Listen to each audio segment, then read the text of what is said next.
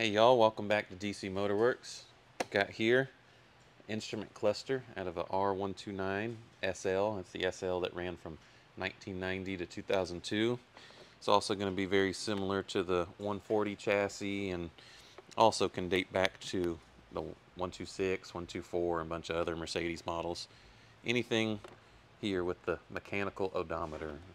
See if y'all can guess what a very common problem on these is. and it is the odometer gears.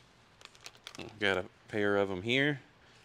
So a lot of times what usually happens, these are plastic gears and they do fail with age. But what usually happens is someone will reset their trip meter here while the car is moving, which it's not designed to do.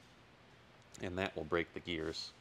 So I've got this one here today. We're going to take it apart and replace these gears so that we can get this odometer and trip meter working. It's always funny in the older Mercedes, you know, they say this is the correct mileage, you know, almost all of these at this point. I'm sure they're off by just a little bit because for at least some time the odometer probably wasn't working because of these gears. So let's get started. Alright, so we're going to start by removing the front bezel here and separating the two pieces. This is held in just two Phillips head screws. Sometimes they're like a T10 Torx, T15 Torx, depending on the model. Remove one there, one there.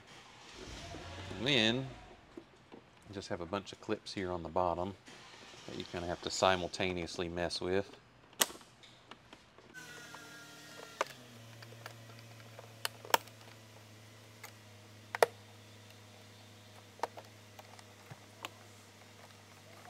Once you have all those released, pull the front bezel there. Leaves you with the rear section. So next you can see we've got a few different Phillips screws here to remove the speedometer.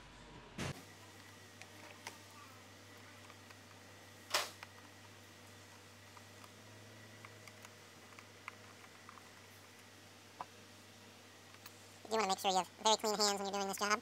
You don't want to put any grease prints or anything on your gauge faces.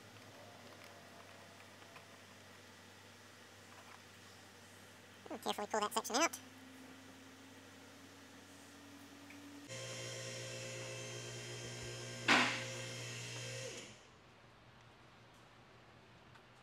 Set it to the side and we're left with what we need to play with here.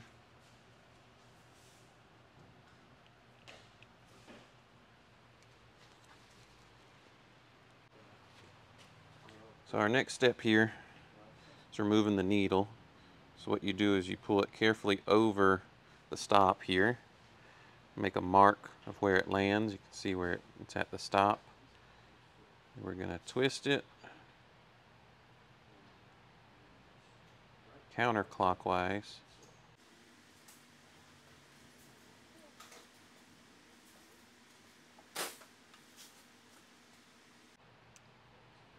Until it reaches that point where it just pops out. Set that aside. Then we have to start peeling back the faceplate cover here. Again, you want to be very gentle while doing this. That you don't crease it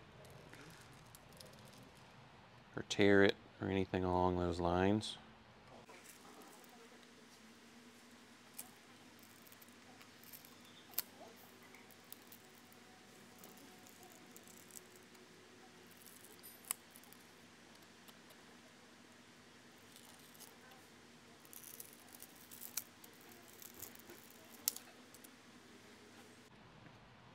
Once we get to the bottom here where the needle stop is right down here.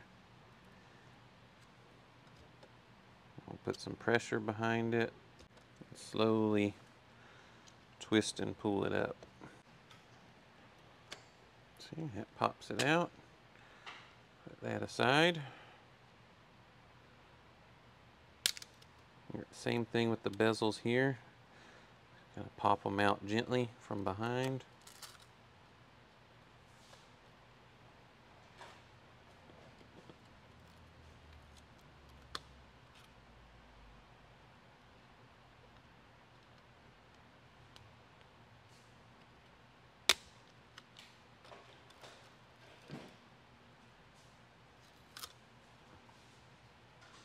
Here's your faceplate removed. Going to set that face down to keep it nice and safe. See now we have better access to the odometer. See we got some screws here and that's what we're going to remove next.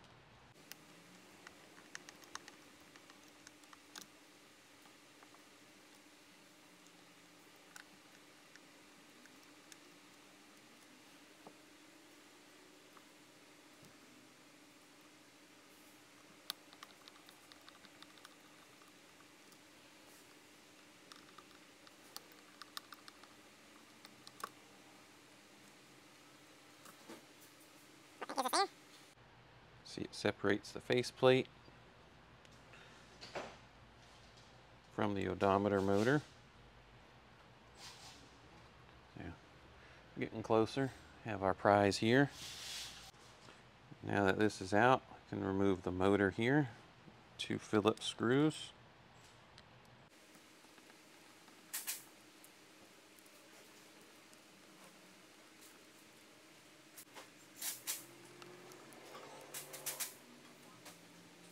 With that removed, see there are two little teeth, gears. What you see there, you can see that bottom tooth is broken.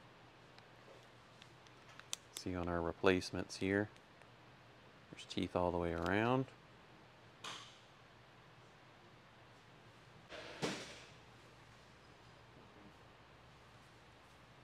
can see our little broken tooth right there. There it is, right there on the tip of my screwdriver. So now we're going to get a shop air clean all this out. How that works here.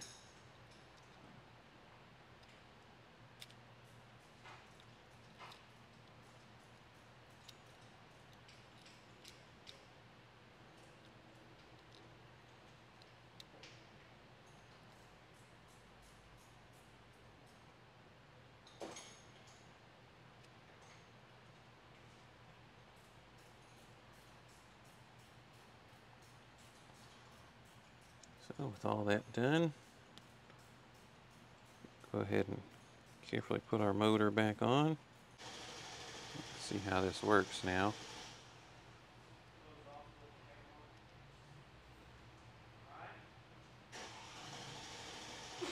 Don't mind running this one up just a couple miles. Just to check to make sure it works. It's all happy now. So we can start putting it back together. What we're doing here is just adjusting our needle alignment.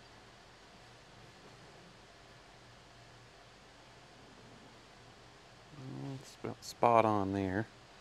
Want to make sure it hits both stops. So it hits that one. Carefully go over your needle stop. And hits that one as well. Make sure it doesn't drag anywhere.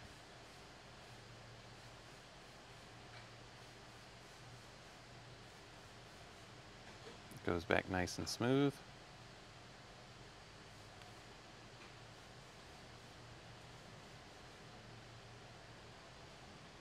So this one's ready to go.